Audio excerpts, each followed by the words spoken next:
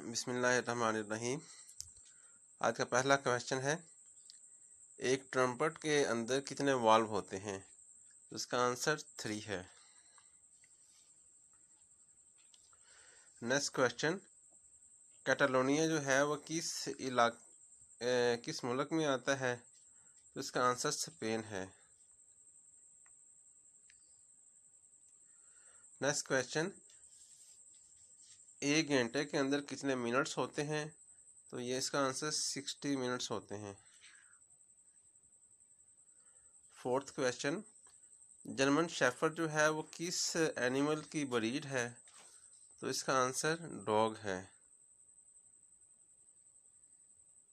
Last question, यरीमान जो है वो किस मुल्क का कैपिटल है? तो इसका आंसर जो है वो आर्मीनिया है। Thank you. Allah Hafiz.